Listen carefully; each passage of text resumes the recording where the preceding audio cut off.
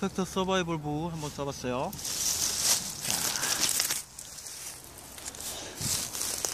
어, 나름 나쁘지 않았어요. 타점이 생각보다 어, 위쪽에 발생을 하네요.